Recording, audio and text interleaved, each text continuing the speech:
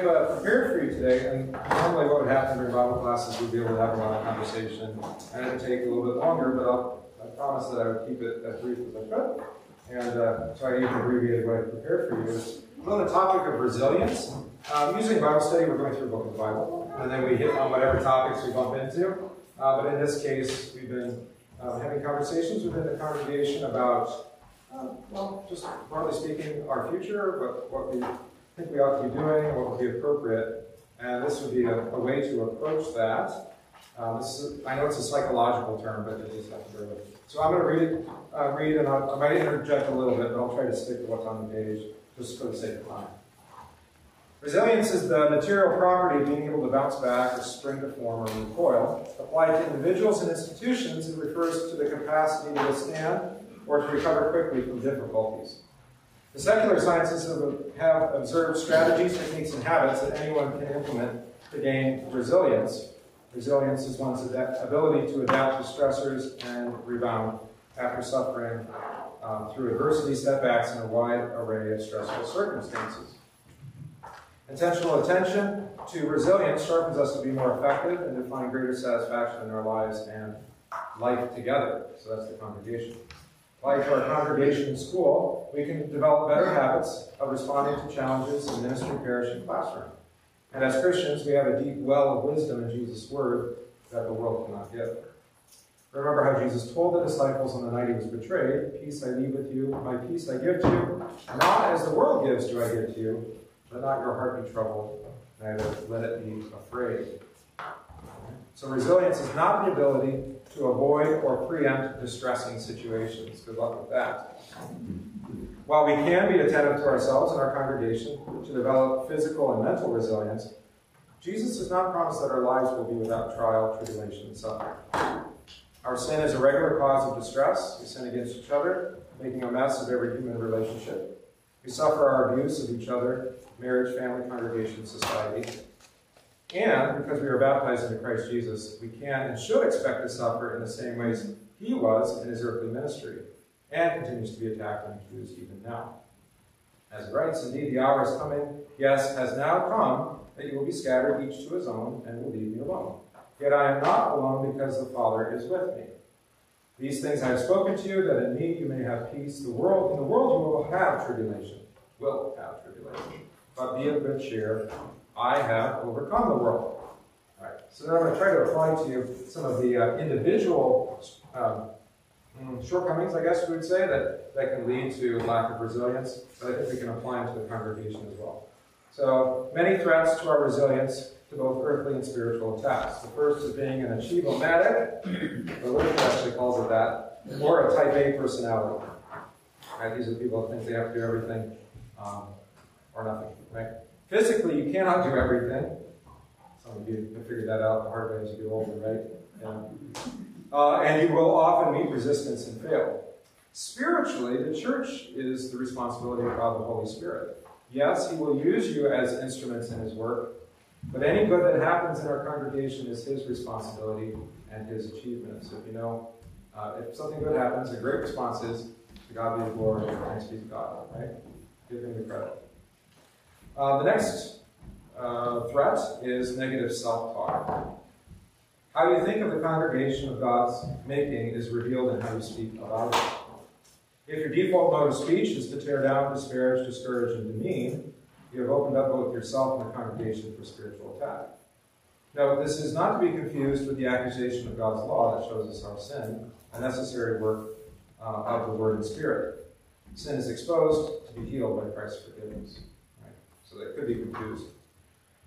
Another threat is catastrophizing. I had to practice saying that word. Yeah. Um, this is another mode of speaking that denies the promises of God to the Christian congregation doom and gloom. You heard it this morning. It can be subtle, where the failure of an effort of the congregation to care for faith and life is then projected to be a failure of the entire ministry. While real catastrophes can come, Jesus has promised to preserve whatever is necessary to keep you with him today and always. My sheep hear my voice, and I know them, and they follow me, and I give them eternal life, and they shall never perish. Neither shall anyone snatch them out of my hand. My Father, who has given them to me, is greater than all, and no one is able to snatch them out of my Father's hand. Turn the page over. I hear you.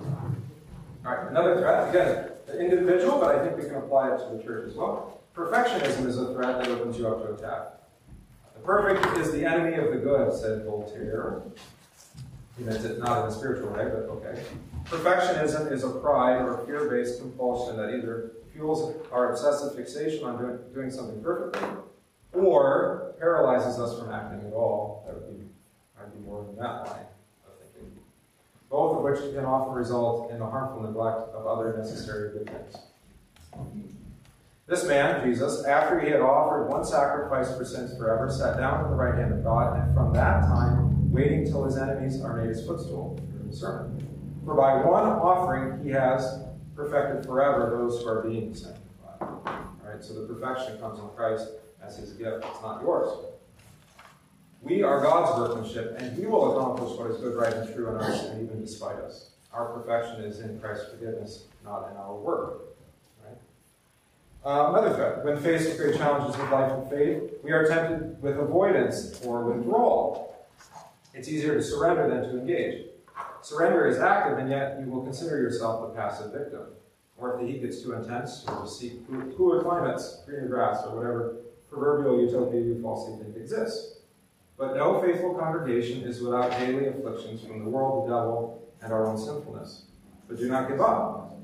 The preacher to the Hebrews exhorts us to let aside, let us lay aside every weight and the sin which so easily ensnares us, and let us run with endurance the race that is set before us, looking to Jesus, unto Jesus, the author and finisher of our faith. Right? So again, another way of saying it's his work, not ours. All right. So resilience. That's those are some of the threats. It's a trait, though, rooted in thoughts, choices, and behaviors. So you can be intentional about it. Spiritually speaking, the means for resilient people and congregations are already yours. The Spirit is at work daily to return you to Jesus, to listen to His Word, and to guide your words and deeds.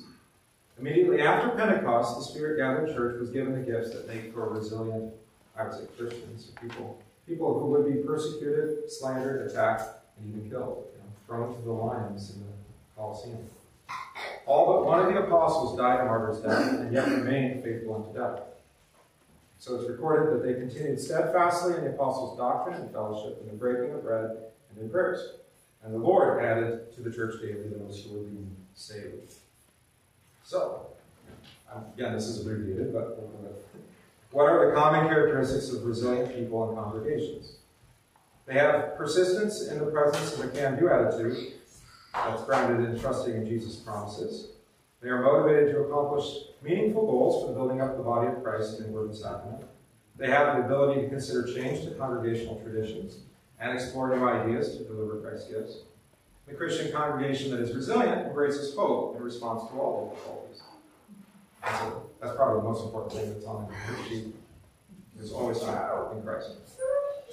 It makes an honest appraisal regarding its strengths and weaknesses, gifts and resources. The membership is expected to be faithful in hearing the word and receiving the sacrament. The congregation develops reasonable problem-solving skills, strategies, and techniques to, be responsive to attacks. It interacts effectively with sister congregations, other Christians, and its community. It is vigilant and mindful of its physical and especially spiritual well-being. And it is self-aware of its capacity to encourage and uplift or discourage and depress each other's spiritual state.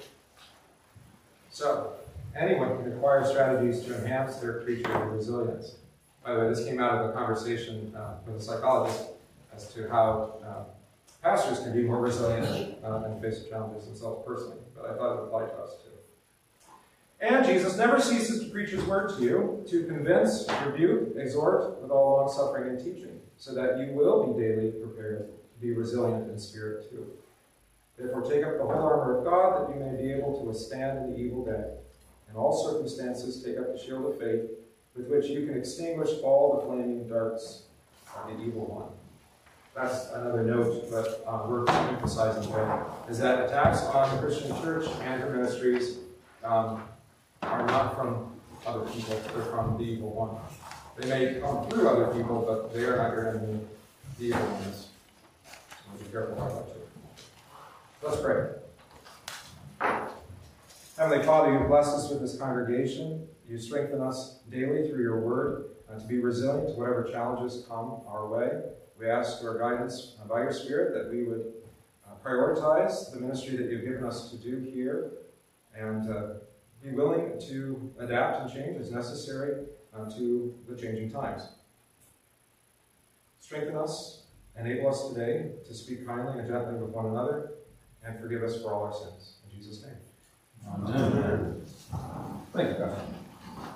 How did